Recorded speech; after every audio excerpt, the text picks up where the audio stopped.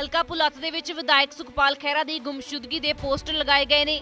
ਤਸਵੀਰਾਂ ਦੇ ਵਿੱਚ ਤੁਸੀਂ ਸਾਫ਼ ਦੇਖ ਸਕਦੇ ਹੋ ਕਿ ਕਈ ਥਾਵਾਂ ਤੇ ਅਜਿਹੇ ਪੋਸਟਰ ਲਗਾਏ ਗਏ ਨੇ।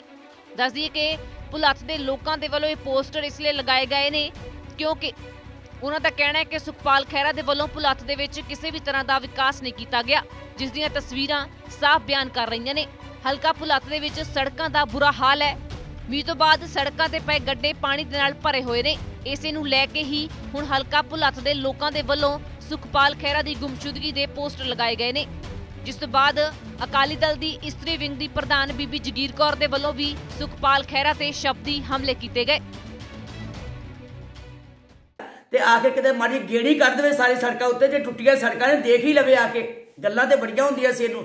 10 ਸਾਲ ਦੀ ਸਾਡੀ ਬੜੀ ਸਾਰੀ ਜੋ ਤਰੱਕੀ ਸੀ ਇੱਥੇ ਦੀ ਸਾਰੀ ਤਹਿਸ ਨਹਿਸ ਕਰ ਦਿੱਤੀ ਹੈ। ਅੱਜ ਜੇ ਕਿਤੇ ਇਹ ਹਾਲ ਹੀ ਪੁੱਛ ਲਵੇ ਆ ਕੇ ਕਿ ਲੋਕੋ ਤੁਹਾਡਾ ਹਾਲ ਕੀ ਹੈ?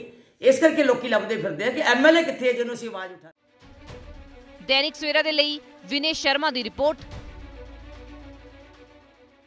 ਕੈਨੇਡਾ ਦਾ ਸਟੱਡੀ ਵੀਜ਼ਾ ਸਿਰਫ 5 ਲੱਖ ਰੁਪਏ ਦੇ ਵਿੱਚ। 5 ਲੱਖ ਰੁਪਏ ਦੇਣਾ ਤੁਸੀਂ ਵੀਜ਼ਾ ਲੱਗਣ ਤੋਂ ਬਾਅਦ ਦੇਣਾ ਜਿਹਦੇ ਵਿੱਚ ਤੁਹਾਡੀ 1 ਸਾਲ ਦੀ ਕਾਲਜ ਦੀ ਫੀਸ ਇਨਕਲੂਡ ਹੈ। ਤੁਸੀਂ ਬ੍ਰੈਂਪਟਨ ਜਾਣਾ ਚਾਹੁੰਦੇ ਹੋ ਸਰੀ ਜਾਣਾ ਚਾਹੁੰਦੇ ਹੋ, ਸਿਰਫ 5 ਲੱਖ ਰੁਪਏ ਚ ਜਾਓਗੇ, ਇਹ ਵੀ ਪੈਸੇ ਤੁਸੀਂ ਵੀਜ਼ਾ ਲੱਗਣ ਤੋਂ ਬਾਅਦ ਦੇਣੇ। ਮੀਆਂ ਰਫੀਕ ਮੁਹੰਮਦ, ਫ੍ਰੀ ਸੇਵਾ, ਫ੍ਰੀ ਸਮਾਧਾਨ। 51 ਮਿੰਟਾਂ ਵਿੱਚ ਘਰ ਬੈਠੇ ਹੁਣ ਤੱਕ ਹੇਠ ਲਿਖੇ ਰਿਕਾਰਡ ਕੇਸ ਹੱਲ। ਵਸ਼ੀਕਰਨ, ਲਵ ਮੈਰਿਜ ਪੀਆਰ ਲੋਟਰੀ ਸੱਟਾ ਨੰਬਰ। ਸੰਤਾਨਹੀਨਤਾ ਦੇ ਧੋਖਾ ਖਾਏ ਭੈਣ ਭਰਾ ਲਈ ਫ੍ਰੀ ਸੇਵਾ।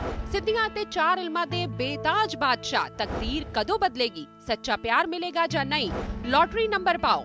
ਜੇਕਰ ਤੁਹਾਡਾ ਅਜੇ ਤੱਕ ਕੰਮ ਨਹੀਂ ਹੋਇਆ ਤਾਂ ਇੱਧਰ ਉੱਧਰ ਨਾ ਭਟਕੋ, ਸਾਨੂੰ ਫੋਨ ਕਰੋ। ਮੀਆਂ ਰਫੀਕ ਮੁਹੰਮਦ।